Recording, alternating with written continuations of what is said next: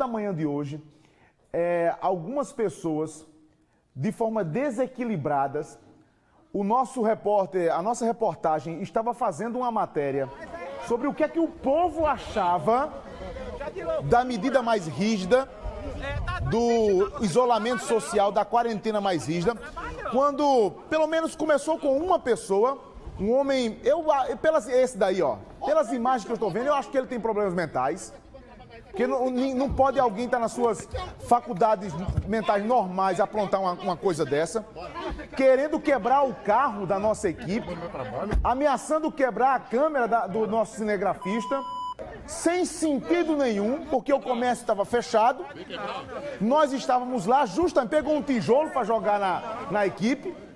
E nós estávamos lá justamente para mostrar a opinião, querer saber do povo o que é que o povo achava das medidas. E nós estamos aqui, inclusive, mostrando todos os lados da, da informação, mostrando, inclusive, qual é o impacto que a medida tem no comércio.